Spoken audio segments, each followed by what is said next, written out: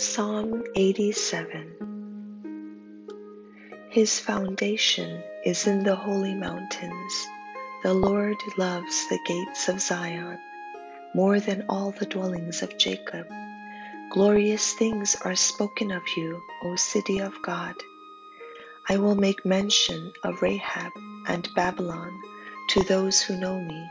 Behold, O Philistia and Tyre with Ethiopia this one was born there.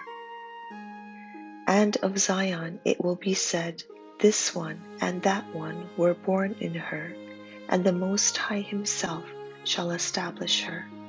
The Lord will record when He registers the peoples. This one was born there. Both the singers and the players on instruments say, All my springs are in you.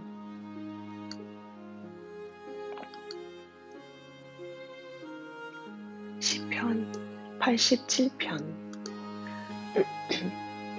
그의 터전이 성산에 있으며 여호와께서 야곱의 모든 거처보다 시온의 문들을 사랑하시는도다. 하나님의 성이여 너를 가리켜 영광스럽다 말하는도다. 나는 라합과 바벨론이 나를 아는 자 중에 있다 말하리라. 보라 블레셋과 두로와 구스여 이것들도 거기서 났다 하리로다.